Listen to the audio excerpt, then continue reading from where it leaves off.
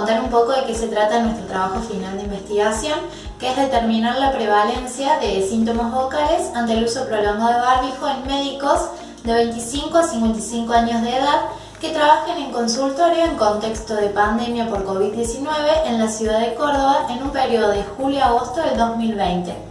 Este tema se nos ocurrió con mi compañera debido a la situación de emergencia sanitaria en la que nos encontramos por pandemia de COVID-19, en la cual el gobierno activa un protocolo de bioseguridad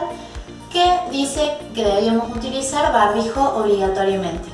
Por lo tanto, nos preguntamos si al hacer uso del mismo iba a desarrollar algún síntoma vocal.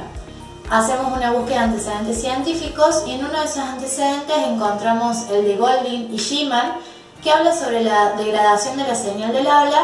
a causa del barbijo, ya que este atenúa las frecuencias altas y disminuye los decibeles, entre 3 y 4 decibeles para barbijo simple y hasta 12 decibeles para barbijo N95 llevando así a desarrollar alteraciones vocales, ocasionando síntomas vocales. Cuando pensamos en quién tomar la muestra, se nos ocurrieron los médicos ya que ellos estaban más expuestos al contagio del virus y por lo tanto debían cumplir con mayor rigurosidad este uso de barbijo. Eh, los síntomas vocales que hablamos en nuestro trabajo final son sacados de la escala de disconfort del tracto vocal, ya que con esta escala tomamos la muestra síntomas vocales evaluados a través de la escala de disconfort del tracto vocal fueron ardor, opresión, sequedad, dolor, picazón, inflamación, irritación y nudo en la garganta. Fueron puntuados del 0 al 6 según su frecuencia e intensidad de aparición.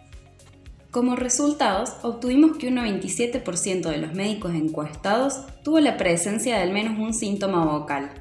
el síntoma sequedad fue el que más se presentó en los médicos con un porcentaje del 87,2%. Le siguió el síntoma irritación con un 76,9%. No se encontró una relación proporcionalmente directa entre la prevalencia de los síntomas vocales y la cantidad de horas semanales que trabajaban los médicos, aunque sí podemos decir que los síntomas vocales se mostraron con mayor prevalencia en los médicos que trabajaban 49 horas semanales o más. Para los síntomas más prevalentes, que fueron sequedad e irritación, es preciso aclarar que en ambos casos el 56,4% fueron de intensidad leve.